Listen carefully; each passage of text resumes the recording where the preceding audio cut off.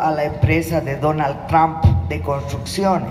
Entonces, este saqueo eh, hace pensar que ese bosque alguna vez fue virgen y tenía mara, pero los biólogos han estudiado que la mara es producto de la eh, uso selectivo del bosque, es decir, que la mara no nació ahí porque sí, sino que fue resultado de la acción humana milenios atrás.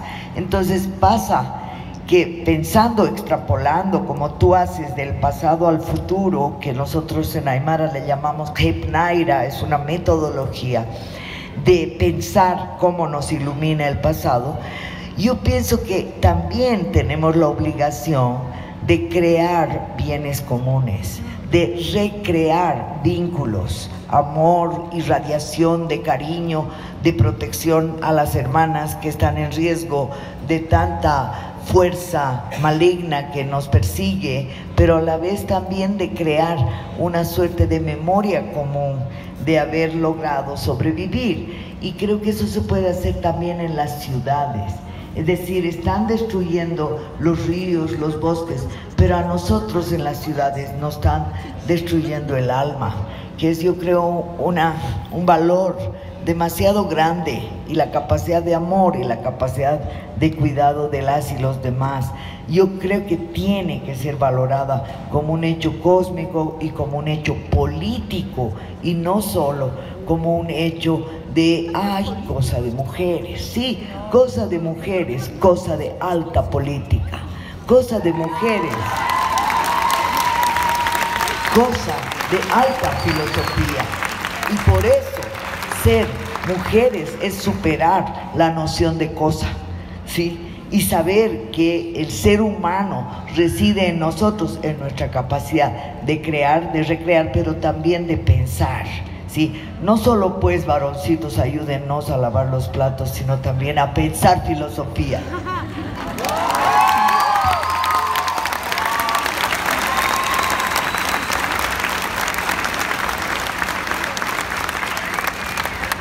A mí me parece que ya esto se está haciendo en muchos lugares, ¿no? Eh, sobre todo en lugares como la América del Sur, que sea, por ejemplo, la América Central, ¿no? Las mujeres están creando bienes comunes, ¿no? Eh, de tantas, tantas formas diferentes. Una, por ejemplo, es de crear forma de, de ¿no? A circulación de semilla, de conservación, ¿no? de semilla así que se pueden hacer autónoma ¿no? de los grandes agribusiness y conservar, conservar todo un patrimonio agrícola, forestal que se está destruyendo. Y también ¿no? están eh, trabajando para recuperar tantos saberes tradicionales, saberes de la naturaleza y también ¿no? de la procreación, como esta ¿no? Uh, interés para la actividad de las parteras, que hoy es siempre más criminalizada en cualquier parte del continente americano. ¿no? Se están criminalizando las parteras Ah, en el momento mismo en el cual muchísimas mujeres no quieren ir al hospital, no quieren ir a parir, ¿no? Bajo del control del Estado, ¿no? A pesar que te dicen que está más seguro, que tienen tecnología que te puede salvar la vida todavía, pero por muchísimas mujeres ir al hospital es una experiencia traumatizante se sienten humilladas, no saben qué le van a hacer. Muchísimas mujeres, por ejemplo, afrodescendientes han sido esterilizadas cuando van. Entonces se está creando ¿no? toda una forma de, protección, de defensa, defensa del país. En los Estados Unidos muchísimas mujeres dicen, si tú vas al hospital, no vas sola, vas con otras mujeres, que va a ser tu abogada Así que cuando tú estás pariendo, tú no debes pensar a protegerte. tú puedes concentrarte sobre el ritmo de tu cuerpo, sobre esta experiencia tan importante que tú estás viviendo, ¿no? Y no debe preocuparte que el doctor te va a cortar las tubas, o que te va ¿no? a dar cosas, o que te insulte, etc. ¿no? Entonces yo creo que esto ya está pasando y también ¿no? se están creando formas de reproducción más, más cooperativa. ¿no? Muchísima mujeres hoy ven que sea la crianza, el cocinar, son cosas que se deben hacer colectivamente, cooperativamente, porque el aislamiento es en eso mismo una derrota Sí, eso pone el dedo en la llaga en un problema que en el sur estamos también viviendo. Sí, la lucha contra eh, la penalización y criminalización del aborto, que ha sido muy movilizante, ha sido extremadamente em, valiosa para todas y todos. Eh, sin embargo, tiene que continuar porque las leyes se hacen para encuadrar, controlar, normalizar nuestros cuerpos, nuestras demandas, nuestras luchas. Y yo me temo que el despatriarcalizar a la profesión médica es lo que toca de seguir luchando, porque si vamos a entregar eh, la decisión y el trabajo sobre nuestros cuerpos a la biomedicina, o a la medicina alopática y al hospital estatal, vamos a seguir, si no logramos cambiar la mentalidad de la profesión médica y de convertir eh, esa profesión en algo que se practica en, con, conjuntamente con la, con la persona que está sufriendo cualquier condición, este, vamos a seguir siendo sometidas a una intervención de control sobre nuestros cuerpos y sobre nuestros deseos, que es altamente destructiva, ¿no? Entonces, eso me, me permite mirar el tema de las leyes, ¿sí? Todo multiculturalismo, toda despatriarcalización que se apoya solo en una que otra medida legal, hace aguas al poco tiempo. Si quienes se pone, si quienes son los encargados de los operadores de esa ley van a ser los mismos de siempre, con los mismos prejuicios de siempre, con el mismo patriarca colonizador instalado en su subjetividad. Entonces creo que hay todo un campo de lucha cultural muy importante y por eso sí yo valoro que estemos aquí juntas dando esa pelea, ¿no? Y hablando de cosas que son precisamente lo que le quedó en el tintero a la crítica al capitalismo que desarrolló el marxismo, ¿no? Sí, por ejemplo, el marxismo nunca se habla de la procreación nunca se habla del parir, no, esto parece que sea algo fuera de la acumulación capitalista, ¿no? Eh, bueno, no está no, un análisis, eh, muchas veces más, ¿no? En el capital habla que, bueno, los capitalistas cuando necesitan nuevos trabajadores pueden hacer confianza en el instinto de preservación de los trabajadores, del instinto de preservación. Es decir, que Marx nunca se pone el problema que hay una diferencia de intereses entre los hombres y las mujeres con respecto a la procreación, que lo van a ver en forma muy diferente, que por la mujer tener 10 hijos o hijas, ¿no? Es una muerte y que en el tiempo en el cual él estaba escribiendo el capital, las mujeres pedían contraceptivos, morían por aborto que habían producido ella misma. Entonces, ¿no?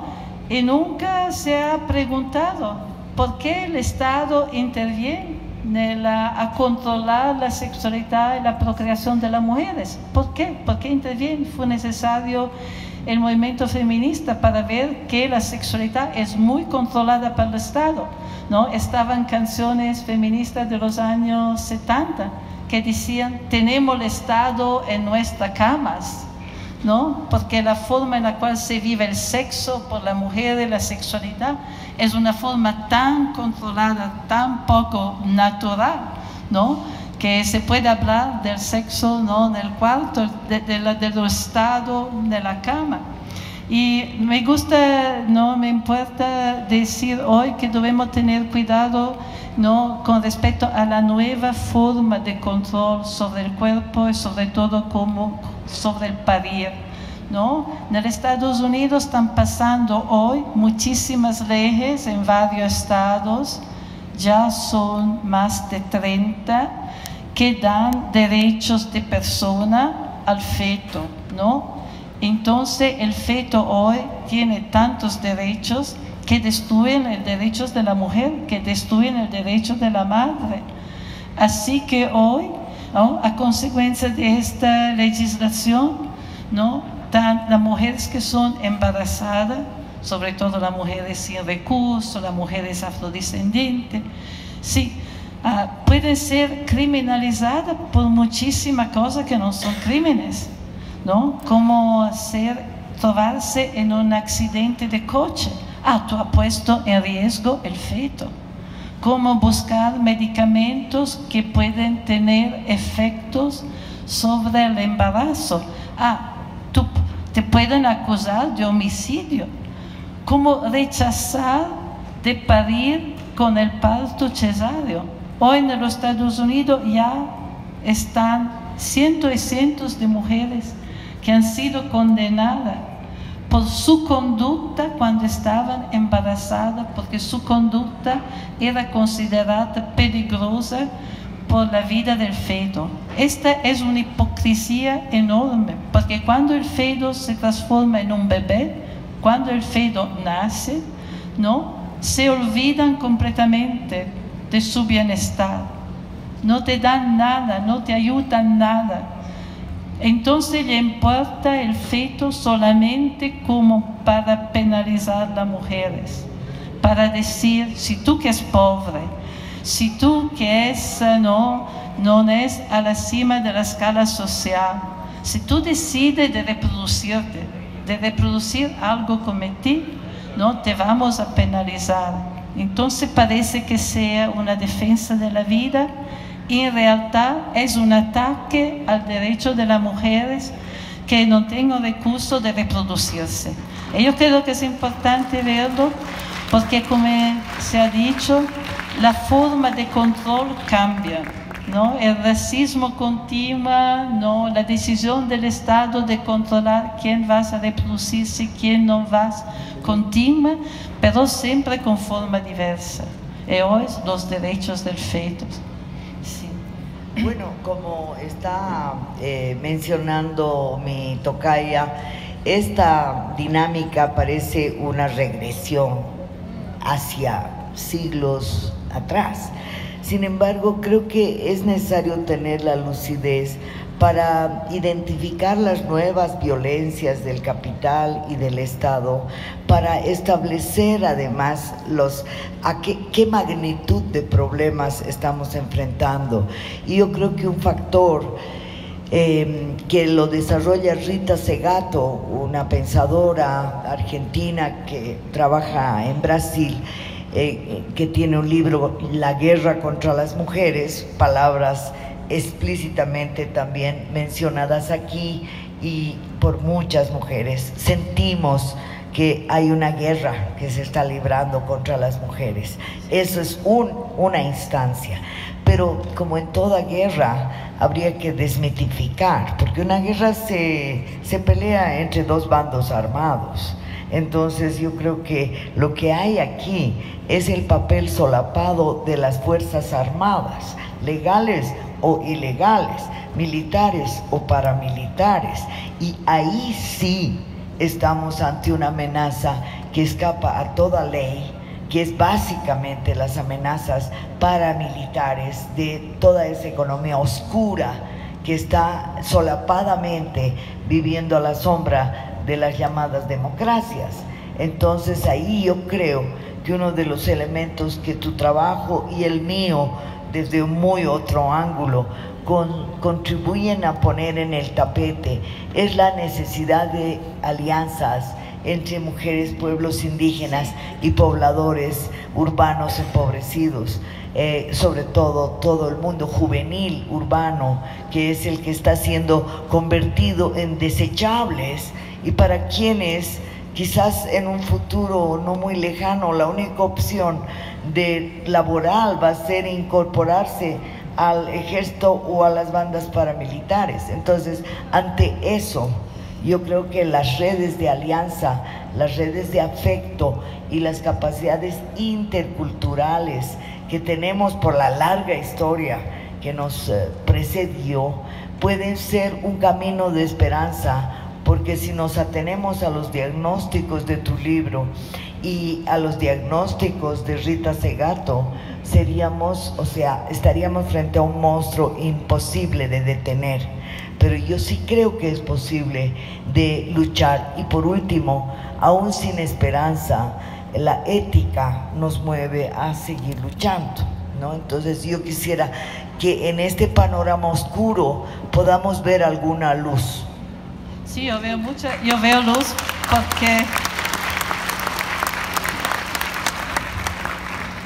para mí la violencia siempre es una violencia que es motivada por la resistencia, por la defensa, por la incapacidad de conseguir, ¿no? la, la, intensidad, la forma de explotación que quieren, sin usar la violencia. ¿no? Entonces, yo creo que es importante siempre ver, una cosa que yo he dicho siempre, siempre de ver la otra cara de la violencia, de ver que la violencia responde también a la presencia muy grande de grandes redes de lucha. Y bueno, quiero, quiero que vamos a concluir más o menos uh, esta para ahora es un diálogo que continúa de tanta forma, ¿no? Pero me, preocupa de decir que a Nueva York, yo vivo en Nueva York, ¿no? Que prácticamente es una ciudad que no es americana, es eh, está gente de todo el mundo y sobre todo de la América del Sur, mexicano. Bueno, tenemos un grupo de compañeras, varias de ellas que llega una del Uruguay, del Paraguay, de España. Hemos decidido, ¿no? Para contribuir a comprender esto surge de violencia, que es un fenómeno global, que tiene formas particularmente atroces, ¿no? En América dicha latina y en África. En África hay una nueva casa de brujas. Se están ahora matando de varios años muchísimas mujeres sobre todo mujeres mayores, acusándolas de ser brujas.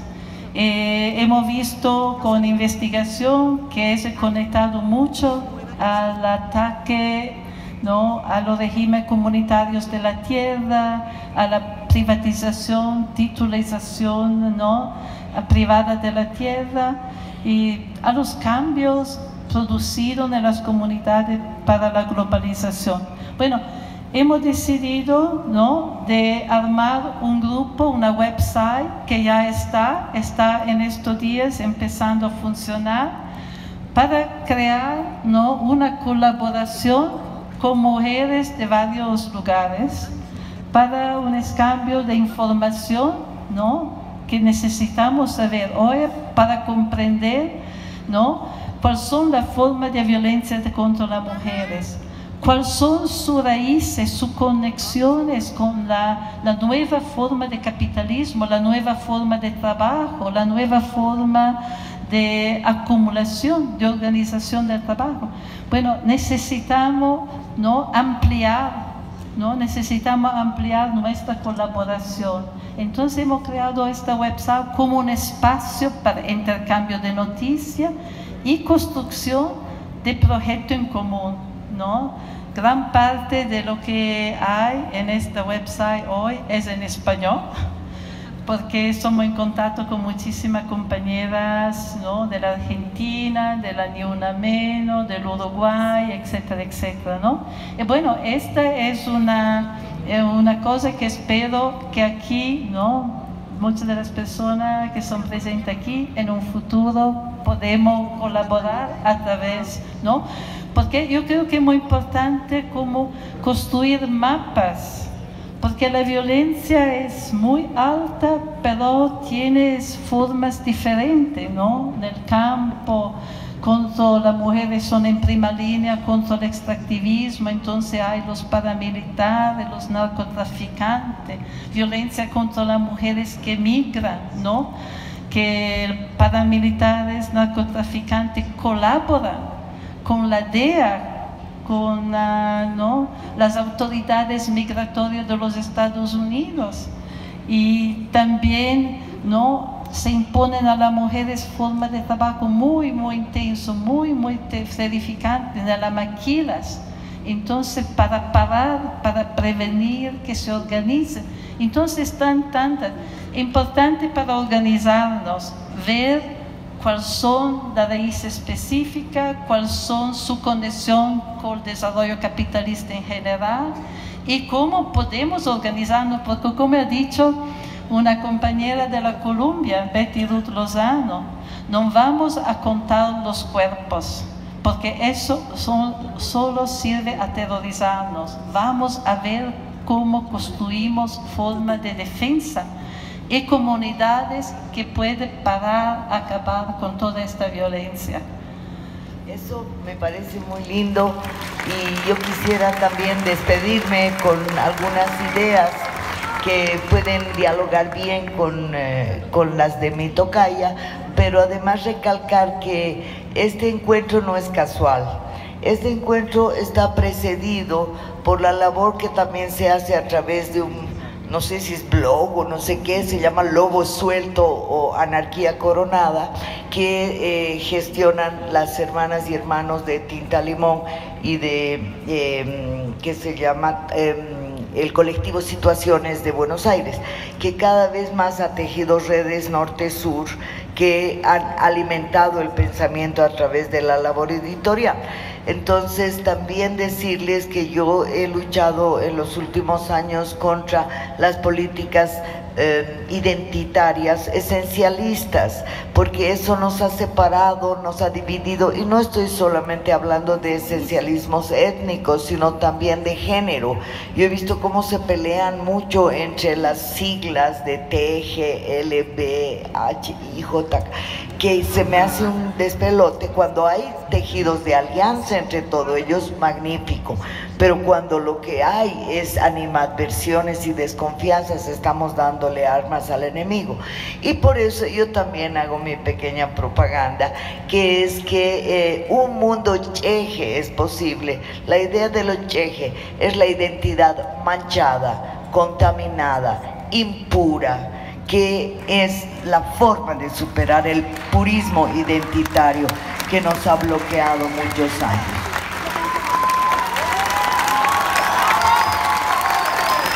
Muchísimas gracias, muchas gracias Silvia Rivera Musicanti, muchas gracias. Gracias Silvia Federici.